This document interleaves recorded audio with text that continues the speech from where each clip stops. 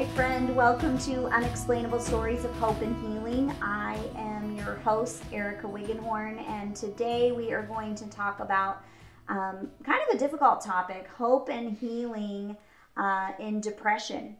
And depression is a big issue in our society today, and I'm so delighted to have uh, my friend Rebecca here with us today um, not only share her own story and struggle, but also uh, she works with people who struggle with depression. And so she's going to have a lot of uh, good practical advice and some help and encouragement to offer us today. So thank you for being here. And Rebecca, thank you for yes. being here. Thank you. Um, tell us a little bit about your story and why are you so passionate about helping people who struggle with depression? Sure. So, uh, my story starts in 2012 when I was getting out of the Marine Corps. And I tried really hard to stay into the Marine Corps, and it wasn't going to happen. And after about six months of fighting to stay in, um, my contract ended, and I did not know what I was going to do. And at that time, I just was searching for what am I going to do? The Marine Corps doesn't want me. Mm. And I tried other branches and they didn't want me. And it was really hard. It was really hard to be told for whatever circumstances, you're never going to be able to do this again. And it, there was something wrong with me. That's what sure. it felt like. There was something wrong with me. Mm. And so I really started struggling. I started having depression. I started having anxiety. Um, I was anywhere I went for the first time, I was having panic attacks. And so it was all wrapped up, a lot of it in that search for identity and mm-hmm. kind of figuring out what is wrong with me that I can't sure. do what I enjoyed doing so much. So I ended up um, kind of distracting myself by saying, I'm going to help other people. Yeah. And so mm-hmm. I went into social work and I got a master's degree in social mm-hmm. work. And while studying on social work and working on that degree, I started seeing more of this and I started realizing how many veterans and other sure. just individuals in general were having these same feelings and similar mm-hmm. feelings of mm-hmm. Searching for that belonging and purpose mm-hmm. and struggling with their identities. Yeah. And I several of the Marines that I worked with completed suicide during that time. Mm and it was very very difficult yeah um, i started working with veterans in crisis a couple of years later and okay. i started working at a suicide prevention agency so i mm-hmm. answered different lifelines i would go out in the community and work with individuals um, and respond to crisis situations mm-hmm. as a mental health provider mm-hmm. and talk through whether it was depression or anxiety or mm-hmm. suicidal ideations and really kind of figure out what was going on and, and try to help mm-hmm. get through that immediate crisis situation yeah. to where they could get connected to ongoing services. Um, so it was a, a lot. I did that for three and a half years and then uh, recently decided to stay home with the kids. Mm-hmm. Um, but I still do some work on the side where I, I train on different topics mm-hmm. with mental health and I instruct a, a local community college on behavioral health. So, still mm-hmm. kind of getting into that aspect of things. Okay. So, for the person out there watching and saying, Oh, you just described me, I am that mm-hmm. person, you know, I, I'm I've had a major life transition. I don't know who I am. Um, the future seems very uncertain. I'm struggling with anxiety. I'm depressed. Mm-hmm. Um, what what hope would you offer them? Right. I would definitely say, um, don't don't be ashamed and don't be embarrassed of those mm-hmm. feelings. Mm-hmm. Don't don't let that um, impact you in that way sure. because a lot of times we tend to think that we're the only ones and that nobody's going to understand mm-hmm. what we're going through, or what we're feeling. And um, studies actually have shown that one out of 10 individuals mm-hmm. experiences a mood disorder in any given year. So the okay. there's a lot of people out there that we sure. might not know, and it might mm-hmm. not be um, a family member or a friend. It mm-hmm. they might have known somebody yeah. or talked to somebody mm-hmm. or encountered it themselves. And so that can help just knowing that it's not as uncommon and there's nothing wrong with you for feeling Yeah. that way and for Sure. struggling with those things. Mm-hmm. Um, it happens, and we can all go through those seasons. Um, and the hope lots for me, a big piece of that hope was knowing that that struggle and and that experience right then, it doesn't define who you are. It doesn't Mm. define, you know, it didn't define me. It wasn't I am Rebecca. I am depression. It's I'm experiencing this. So there's still so much more to who you are than Mm. that. Yeah. I like how you really differentiated that because I think when you're in the midst of it, it can feel so all consuming Yes. that then it just feels like this is all that I am because these emotions that I'm experiencing are so consuming. Um, so I, I appreciate the fact that you separated what you're experiencing from who you are, Right. and I think there's a lot of power in that. What What are some practical things if a person is saying, you know, I, I I sense myself really slipping into depression. Um, I'm having a hard time leaving my home. I'm having a hard time getting out of bed. I'm, um, maybe I'm even having suicidal ideations. What What are some practical things that you would tell them to do? Right. So and it can it can vary for mm-hmm. everybody. What works for one person might not work for another person, and um, but the big thing is kind of identifying what those things are. And so there are a lot of different coping skills that people can utilize. And mm-hmm. one of the things that can be very helpful is having several that you can Okay. do. Mm-hmm. And don't just always rely on one coping skill, but rely on several different ones that you can do. And have them be skills that you can use whether you're sitting in your car or you're at home or you're at a restaurant. And it's, Sure. it's something where you can just do it right then and there. Mm-hmm. And so it can be a variety of things. It might be taking deep breaths or counting one to 10. Mm-hmm. It could be cleaning or sweeping. It could mm-hmm. be listening to music. And so there are a variety of different coping skills that people can utilize. And there are a lot of tools available as well. So, um, like, I actually found a paper once that had 99 different coping skills Okay. that somebody mm-hmm. could use. And it was just a list, and mm-hmm. you could keep that and just check them off and mm-hmm. keep track of what worked and didn't work.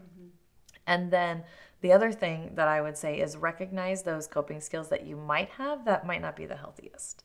Okay. And so there are things that we might do, um, whether it's smoking or drinking or other substances. Some people cut. And those are all ways that we release our tension, or maybe we just want to feel something Okay. and that can easily go down this mm-hmm. track that's not going to be the healthiest. It might be more harmful in the long run. Mm-hmm. So I would definitely watch out for those types of things as well. And then finally, I would make sure that whatever information you're getting mm-hmm. is from a very strong source. It's very easy. There are a lot of, whether it's a book or a podcast or somebody who calls himself a professional, but it might have good intentions. A lot of things out there can still cause harm. And so we mm. want to make sure that wherever we're searching for that help is something mm-hmm. that is going to be beneficial and mm-hmm. that we don't ultimately put ourselves in more harm. Sure. In those moments, we're very vulnerable. In those dark moments when we're depressed, we are very, very vulnerable to suggestion and Mm-hmm. uh, things that might not be healthy. And so that's when it's really important to make sure we're trying to be smart and trying to watch out Mm-hmm. Yeah. for those things. Yeah. Good advice. Um, in your own struggle with depression, um, explain a little bit what role your faith played Right. In helping you deal Right. with depression. So I have, um, I've believed in Christ my whole life, um, and still struggle with depression. Sure. Right. So it is. It's still something that it's, Yeah. you're not immune to it just because Right. you are a Christian. Sure. And I think oftentimes it's we can almost be embarrassed of that. Like there, Mm. I can't feel that way if I go to church. I can't feel that way in front of my Christian friends. Like I can't show that mm. or my family. And so that was really hard for a while to to accept and to own that. And I still went through these the struggle for a while of depression, especially after my son was born. Mm-hmm. And I was having thoughts of suicide mm-hmm. and it was a very difficult time. And I remember for me, it was music. There was just this if I could listen to music and positive music, not just anything out there, sure. but if I could listen to a strong positive music, then mm-hmm. that could help just get me through that moment. Mm-hmm. Um, and I started listening to a couple of songs that reiterated to me and almost taught me in a mm-hmm. new way exactly what my relationship with Christ looked like mm. in a way that I didn't really comprehend before.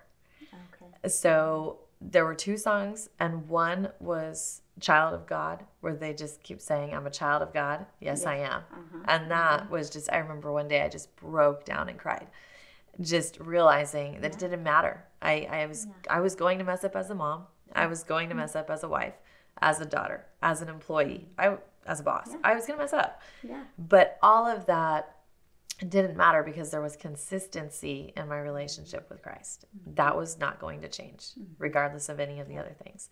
And the other one was um, who you say I am, and it says, you, you say I'm enough. Yeah. Mm-hmm. And that, again, just reiterated that regardless of anything else yeah. that happened, I am enough.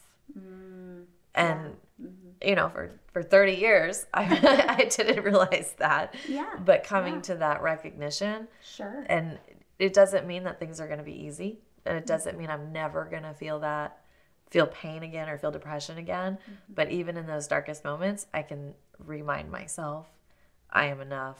I'm a child of God, and I'm going to yeah. we're going to get through this. Yeah. So. Beautiful for the person out there watching who maybe they don't struggle mm-hmm. with depression, but they have someone they love who does, and they're feeling they're feeling helpless. They don't know how to help. Mm. What would you say to them? Yeah. I would say don't give up um, because you never know what it is that you're going to say or do that is mm-hmm. going to help somebody. Sure. You know, um, so you might try talking to them or listening to them, mm-hmm. offering, inviting them to come do things, mm-hmm. and they might turn you down every single time, and that that might happen, but don't give up because it it just one day they might say yes. Mm-hmm.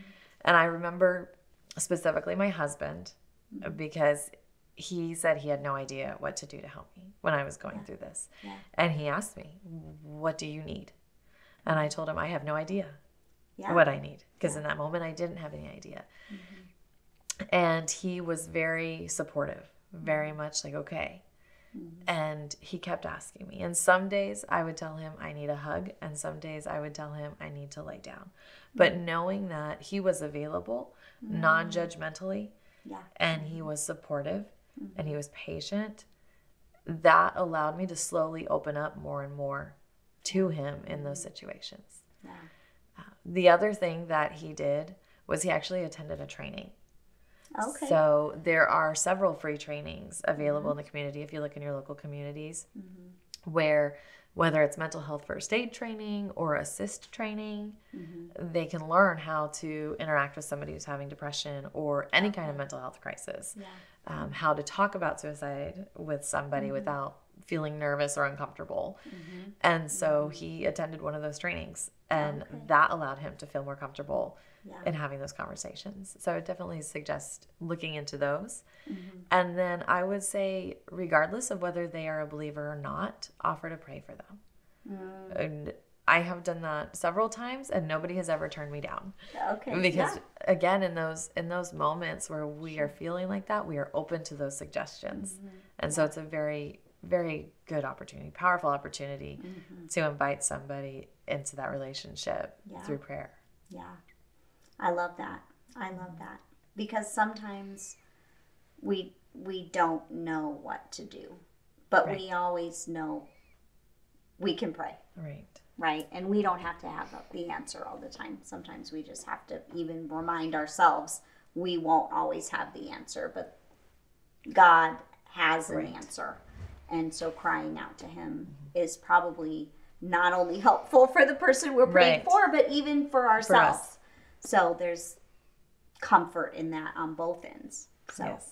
yes. Thank you, Rebecca, for sharing your story and um, giving some really good practical advice. And we will definitely put um, some of those websites and resources that Re- Rebecca talked about um, today uh, on our page here for you to access if this is uh, something that you're going through. But Rebecca, thank you for being just so real and just also so helpful.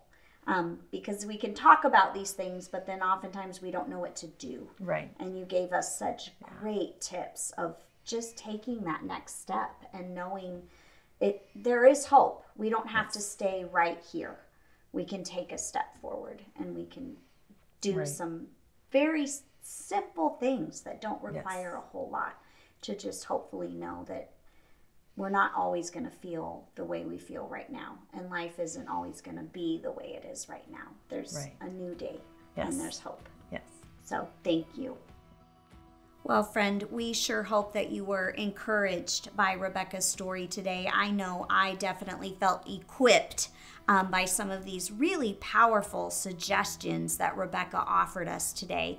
And if you were encouraged by Rebecca's story today or helped at all, we certainly would love to hear that by you liking or commenting or subscribing. And we would certainly invite you to share this video if you know someone struggling with depression or suicidal thoughts or have someone in their family who is. By all means, please share this with them so that they can have hope um, that this is not how things will always be. Um, of course, if you are struggling personally, uh, we would invite you to visit our website at ericawiggenhorn.com. We would be honored to pray for you and um, help, help guide you to some of these good, solid resources that Rebecca talked about with us today. Um, but mostly, friend, what we want you to know is that life here is often going to throw the unexpected at us. But unexplainable Jesus is always more than enough. Thank you, and God bless.